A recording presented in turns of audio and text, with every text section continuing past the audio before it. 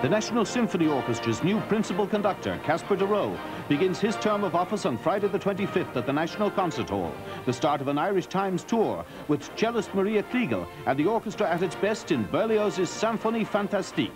From the Concert Hall, 6711 533, where RTE supports the arts.